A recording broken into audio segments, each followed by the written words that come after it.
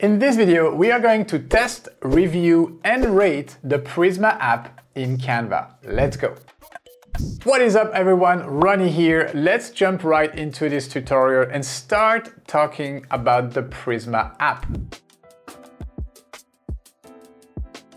So I am here on my Discover app section on the homepage and from here I can see, I can have an overview of all the apps that are integrated up to this day with Canva. So I can see one of the latest one right here, one that is suggested to me is Prisma. Apply art effect to your photos. So today we are going to be reviewing this app, this integration with Canva. We will be looking quite deep into this. At the end of the tutorial, I'm gonna show you my pros and cons, what I liked, what I disliked about the app, and give you a rating. So a score out of 5 for this specific app. And in this series, I intend to review more apps. I intend to compare all the different apps, maybe not all at once, but I'm going to talk about all of these apps and give them a rating so that we can have maybe a chart with the best apps, my favorite apps, and I would like you guys to also recommend me which app you would like me to rate and to review here on the channel. So today, Prisma, let's click on it and let's read what Canva is saying about this app. So turn photos into paintings. So this is the promise for the Prisma app. It looks really promising actually. So apply AI powered artistic styles to your photos to make them stand out. So I can see a quick overview here. I can use the the little arrow to actually see. So it looks great with landscapes, portraits as well. See the cat here with a third of the photo not processed and then the rest processed. So this looks great. I can start from here, from my Discover app section by using the app in a new design. So let's do that. Canva will ask me what uh, type of document I want to create. Let's go for an Instagram post. And this is where we are going to land. So Canva will open a demo photo with the panel right here, already with all the Prisma effects ready for me to try, okay? So I can see basically a photo which is selected. There's the edit image button. So this gives me an indication that this specific app will be found under my edit image button, okay? I will come back to this later. But then I have here like nine different filters. I believe they are called art filters in uh, Prisma. And so let's click on the first one called Cavalcade to see how this photo can turn into a painting. Yeah, the effect is pretty stunning actually. It looks great with the grass, uh, even the character here. I really like this. Let's try another one, uh, maybe pattern. Okay, so here I see kind of like little mosaic in my design and all these colors. It looks like a different style of painting. Let's try one last one, maybe tiramisu because I've always loved this dessert. Let's see how it looks like. Okay, this one looks more like a photo, but can still see if I look closer that it is more of a, of a drawing, of a painting. So from the get-go, this app looks pretty promising, to be honest. But I figured if I really want to rate this app correctly, I need to take into consideration the context. So what is Prisma, what other versions of Prisma exist out there, and I'm gonna come to that in a second, and then compare the Canva integration with these other versions of Prisma out there and what you can do with them. Okay, so let's start doing this, and then at the end, like promised, I will give you what I liked, what I disliked, and my rating. All right, so let's dig a little bit deeper and try to figure out what is Prisma and what other versions of Prisma exist out there on the internet, okay? So first, what is Prisma? Prisma is a photo editing app that has been designed and launched in 2016 by a few different Russian developers, okay? So 2016, that's the first piece of information which is important in my opinion. It's not a new app, it's already five or six years old. Next is what it does, okay? So I grabbed this snippet of text from the App Store and it says, you don't need to be an experienced photo editor to turn photos into captivating digital art. Why? Because there's Prisma for it. With the Prisma photo editor, it's easy to unleash the artist within and go from average photo to mesmerizing edit in seconds. Okay, so I think it's really focused, and this is taken from the App Store, so from the description of the mobile app for Prisma. So if I move to this next slide right here, I can see that there are actually three different versions of Prisma. You have Prisma in the Canva ecosystem, so that's what we just experienced in Canva. I would call this the Canva app. Then you have Prisma as a mobile app. So this is a standalone mobile app for iOS and Android. And I will show you how it looks and what you can do with it in a second. And then you have Prisma for your web browser. Okay, so there is a version of Prisma which is actually accessible via Canva that you can use on your web browser. So the first thing we are going to do is to have a quick look at what you can do from the mobile app and from the browser app. And then we'll come back to Canva and compare the different functionalities to what you can actually do from within Canva. This will give us a complete overview of the Prisma ecosystem and the Prisma apps in general. So we can really judge if this Canva integration is good or not so good. Okay, so let's do this. The first thing I want to do is to jump straight into my phone. Okay, we are going to talk about Prisma as the mobile app. All right, so I am here on my App Store landing page for the Prisma Photo Editor, okay? So I have a bunch of information right here. What I wanted to show you is uh, these mockups right here. So it says App Store App of the Year, not sure which year, but then it shows me a couple of screenshots of the app and what you can actually do with it. 500 plus creative filters, turn photos into art, adjust to perfection so I can see a bunch of different settings right here that I can use. New cool filters every day. So this shows me that this is actually an, uh, a dynamic ecosystem where new stuff is coming regularly. Okay, so I have installed the app into my phone and this is what it looks like. Okay, I have uploaded a first photo right here, photo of Diana and myself at the beach uh, taken yesterday. So this is what it looks like. So I do have my photo here and then I have a couple of buttons and my art effects, my art filters right here at the bottom. So there's actually a bunch of them and you will see that some of them are free and some of them have the little padlock icon indicating me, if I want to click on this one, indicating me that these are part of the paid plan for the app. Okay, so they will give me an overview of what the art effect looks like. But then if I want to apply it, I will have to subscribe and become a creator or a pro member of the app. I'm gonna X that. What I want to show you from here is these art effects, okay? I'm gonna click on the second one called Eisenberg. And this is what it does. In one click, and it was almost instantaneous, so no lag, no loading time. This is what it did to my photo. Now, the cool thing here is these buttons right here. If I click on the first one, the little paintbrush right here, I can have access to some settings, okay? The first setting is SD or HD. I believe HD is a pro-only feature, yes, but What's interesting here is the style intensity slider. So if I slide down, you can see that I can go from no effect to 100% effect. So this is really interesting and will help me kind of be more precise, more granular with how much of the effect I want to apply. Let's stick with 100%, click on apply, and then let's see what the second button here does, okay? Tap on it, and I really like this. This is basically allowing me to select which layer of my photo is being affected by the effect. Okay, so here I can see it's only the subject of my photo, so my two main characters here, Diana and Ronnie, have been isolated from the background, so there is clearly some background removing action going on here, and then the rest of the background is completely normal. That's my normal photo but the filter has been applied to the main object of the photo. I can click on this button again and then it's inverted. Now it's my background which is affected by the filter. I really love that. And if I tap a third time,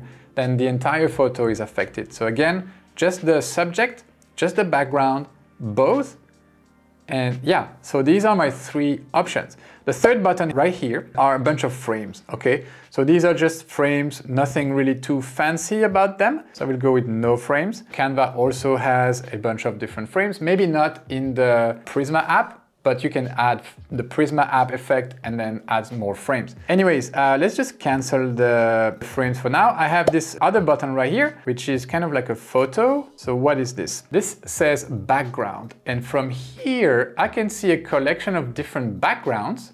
Let's tap on one. Oh, okay. So what it does is that it replaces the background of my photo for some other backgrounds right here from the library.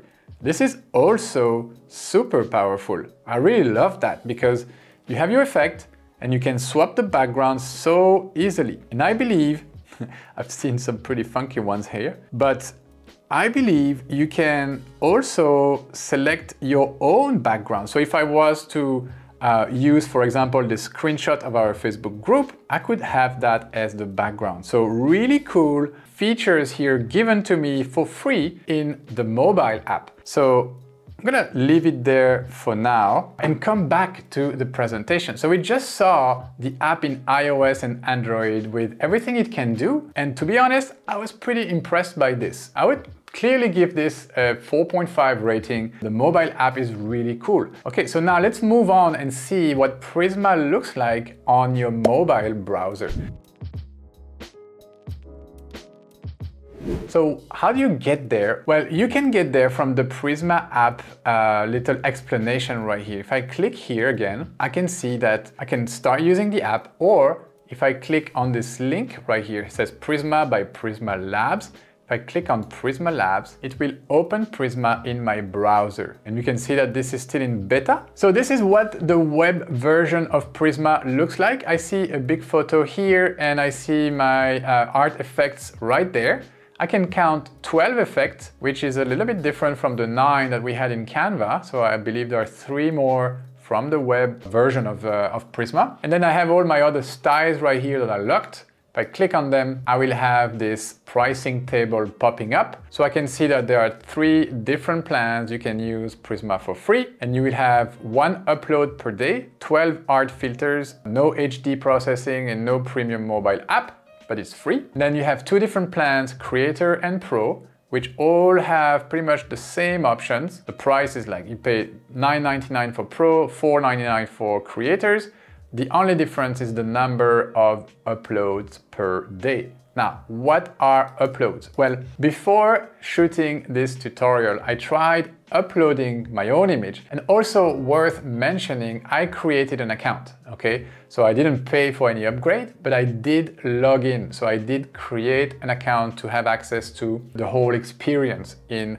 Prisma on my web browser. So I created an account and this allowed me to upload my own photo. Okay, so if I click on open a new image, I can select an image from my computer. See?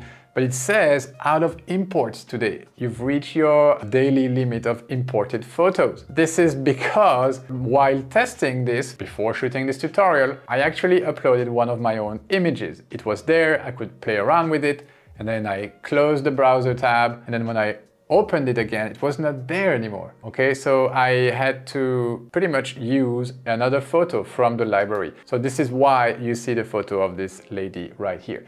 To be honest, she's more beautiful than me, so you're not losing anything in the transaction. All right, so let's see what we can do here. Let's apply an effect that was not on the Canva side of things. Okay, I believe pepperoni was not on Canva's side of things. So yeah, this is what it looks like. Looks pretty cool. Uh, coziness was also not there, I believe. This also looks great. Would be a nice music album cover, for example. And believe is the third effect that was not this one, also pretty cool. So basically the app works in a similar way, just that you have a little bit more controls here. I can see this slider as well. You see the intensity slider? This is something I don't believe we had in the Canva app. I will go back and double check but I believe we didn't have that. So the web app is in my opinion, not as good as the mobile app, but it does have features that Canva doesn't allow you to have in the Canva integration, okay? Like this slider right here was not an option in Canva. Also, I have three more Prisma Essential filters or styles available to me, Believe, Pepperoni, and Coziness that were not available in Canva. Now I'll go back to my Canva app here. So by selecting my image, click on edit image, go to Prisma, and you see I only have nine. I say nine because the first one is none, so there's no effect here, and then three by three, that's nine. So you have your nine uh, filters, okay? Now, if I try to apply a filter again, so let's go for this one, I don't see any little slider icon or settings icon anywhere. Basically, I can apply the effect 100% or not apply the effect. And I can choose between one of these nines and apply. And that's pretty much what I can do. There is no option for me to control the intensity of the effect. We completely lost the uh, cool features that we had in the mobile app to be able to select which layer of your picture you want to apply the effect to. Also, I cannot play around with the classic settings, I would say, like the, the different adjust buttons from within the Prisma menu right here. So I cannot add more luminosity, I cannot add more contrast, uh, shadow, etc., etc. I will have to do that as a separate edit, I would say. With my image, I would have to apply this one and then go back to edit image and then the adjust button Okay, so it's not built in the Prisma app. And also I cannot easily swap the background. Like I really love this feature from the mobile app where they would keep my uh, subject with the effect applied to it and then I could just go through a bunch of different backgrounds and use that as the background. I do not have that in Canva. So I am a little bit mm, disappointing so far that from the three different versions, this one seems to be the less complete of them all. The only thing I can see that this one has, like the Canva integration has on the web version is that I am not limited to one upload per day. Because here I can add more images. Let's just uh, select another image of myself and then click on it, edit image, go to Prisma, apply an effect, and you will see that I won't have any limitation message or error message. It's just going to apply the effect and let me fly with it if you want. Okay, now I think we have a pretty good overview of what Prisma is, what other versions of Prisma exist out there. We've seen that from the three versions, the Canva integration seems to be the lightest one, the one with the less features available, unfortunately. So now I would like to try to push this a little bit deeper, a little bit further, and see the different use cases that we could have with this Prisma app into Canva. So is this useful for marketers? Is this useful for social media content creation? Or is it more like a gadget app that is nice to have, but is not gonna change your life? Okay, let's try to find out. So I have different use cases here that I would like to go through. The first one is to work with a portrait. Okay, which is what I just did and the result is pretty convincing to be honest. Let me edit this image one more time. I will restore to the original and go to Prisma one more time. Let's try another effect that we haven't tried yet, like passion fruit, for example, on this specific image and see if it really gives me the impression of this being a drawing I'm gonna set this as the background. Oh, the effect was not applied, so let's apply it one more time. Okay, so this is what I have, and it does look like a painting. I have to admit this is pretty well done. So when working with portraits, this does a good job. I like the effect. I think this is something I could use, maybe not regularly, but from time to time. Now, the second use case I would like to illustrate here is with a landscape. Okay, so instead of a person, let's try to have a nice landscape. I have this countryside road right here. I'm gonna set this as a background not do the same mistake twice. This actually looks very much like where I am from like this little town in the south of Belgium where I grew up. This looks exactly like that. Okay, so let's apply Prisma to this specific photo. This time I'm gonna go with uh, snow Let's, let's try storm and see how it looks on this particular photo. Okay, so this is much more abstract than the other effects that may be a little bit too strong, but it does look like a painting. So maybe I will change this to uh, cavalcade think that was one of my favorites so far because it has all these uh, brush. Yeah, this one looks really cool. It looks like a drawing. actually. So I'm gonna apply this. So I can see that so far it looks good on portraits, it looks good on landscapes, but let's try to push it a little bit further. Can I use this on my logo, for example? If it's the case, I could maybe start really playing around with this. Can I use this on a social media icon to stylize my icons to put on my website? On a specific piece of design so it looks more hand-drawn. That would be great. Let's try first with a logo. So let me grab a logo, uh, the Team Rondi logo, for example. Make that bigger. Select it, edit image, and go to Prisma. And let's try the first one. It doesn't really matter if it works on one. I can see, uh, okay, so there is a big uh, black rectangle now showing behind my logo. Maybe if I apply it, it will go away. And no, it doesn't seem to go away. It is part of that image. So it seems like Prisma had a hard time dealing with that transparent background of my logo. Let's try something else here with this logo right here. See if the same problem persists. Yeah, unfortunately, the same problem uh, happened again. It seems like Prisma doesn't do a good job at dealing with transparent backgrounds. So I cannot really work with logos, I cannot really work with icons, and I guess I cannot really work with text in general because if I create a text, export that text as a PNG with a transparent background and re-upload it into Canva and apply the effect, I will have the same problem with handling the transparent background. Now, one last thing I would love to try is to see if this works with a Bitmoji, okay? So let's take a Bitmoji, uh, one that doesn't show any obscenity. Okay, this one. This one looks great. Milky Ronnie uh, edit image, Prisma, and please give me something that works. I'm gonna try the lizard. And unfortunately, it doesn't work. I still have this black square of death behind my actual Bitmoji. So this is pretty much not gonna help me either with text, logos, icons, or Bitmojis, or anything really that has a transparent background.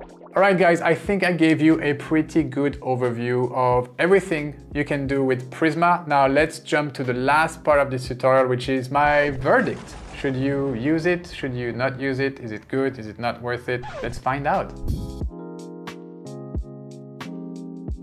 Well, the first thing I would say is who is this for? Okay, it's obviously not for social media marketers because you cannot work with text, you cannot with uh, logos, icons, or anything of that sort. So it's not for marketers. It's not for business in general. And it's also not for illustrators or people who are really into digital drawings, etc. because you don't have enough control.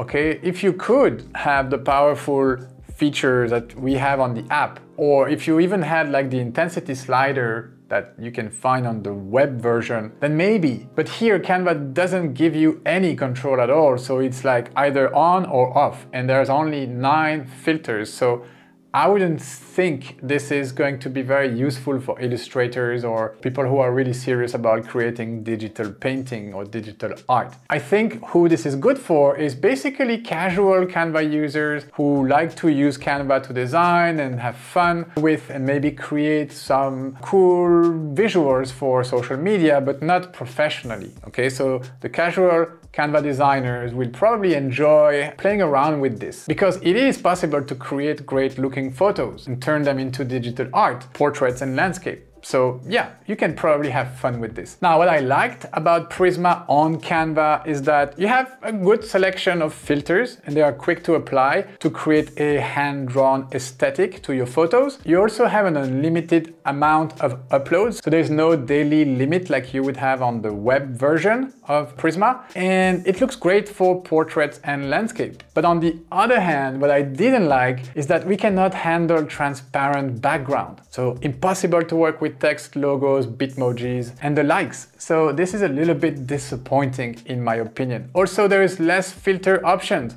Why give us only nine filters when there are 12 on the web version and probably up to 30, 40, if not 50 free filters in the mobile app. So uh, why only nine? And then of course, why keep away from us the most powerful features like the ability to play with the background, the ability to add frames or to choose which layer you really want to apply your effects to, which you will find in the mobile version. So yeah, that's pretty much what I didn't like. And finally, last thing I didn't like is that there is no intensity slider. You cannot adjust the effect to your taste in the Canva app. So all of this leads me to a final rating of 2.3 out of 5 for the Prisma app in Canva, okay? I'm not talking about the Prisma experience in general because on mobile, I would give Prisma a good 4.5 out of 5 because this was really good. But my opinion, if you are going to use Prisma, use it on your mobile phone and then export that into your Canva editor and play around with this. Thank you for watching. I hope you had fun. Let me know which other app you would like me to review, rate and comment on and I will do so in the next episode of Let's Review Apps Together. Thank you for watching. I will see you in the next video.